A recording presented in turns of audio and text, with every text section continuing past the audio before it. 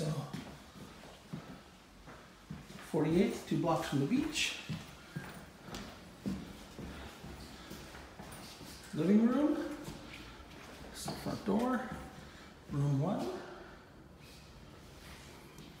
Kitchen, we dine